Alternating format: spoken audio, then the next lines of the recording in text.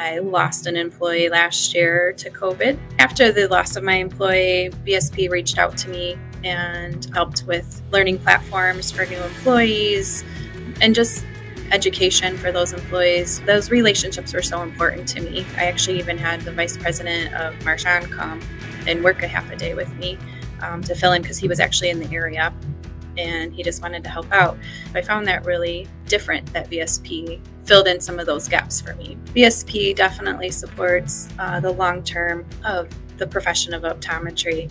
They've always been able to advocate for the private practice. They give us rebates, give the patient rebates, give us education platforms, and they're always there to help. And you don't see that from a lot of other insurance companies and vendors. So it's definitely a great relationship.